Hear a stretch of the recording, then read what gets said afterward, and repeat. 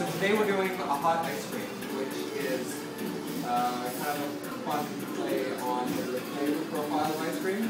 We start with the mascarpone base, and then we add something called methylcellulose, which is uh, a stabilizing agent that um, activates in, in the presence of heat. So once we've flavored our base, uh, again with traditional um, vanilla ice cream flavoring, we could then just put it in the hot water. And as it sits in the hot water, it's going to set up. Essentially, we're activating the methyl cellulose in the batter. And then after